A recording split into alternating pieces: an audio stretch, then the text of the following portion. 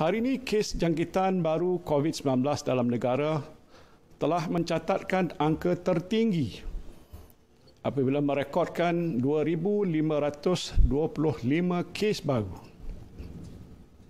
Kerajaan telah memberikan banyak kelonggaran kepada rakyat namun dengan syarat perlu mematuhi semua SOP yang telah ditetapkan. Saya menyeru saudara dan sedari semua untuk terus mematuhi SOP yang telah ditetapkan di samping mengamalkan budaya norma baru seperti mencuci tangan menggunakan sabun, menggunakan hand sanitizer, memakai pelitup muka dengan betul, menjaga jarak fizikal dan elakkan daripada bersentuhan ketika melakukan aktiviti harian seperti pergi bekerja, beriadah, dan keluar makan bersama keluarga serta bersukan bersama rakan-rakan.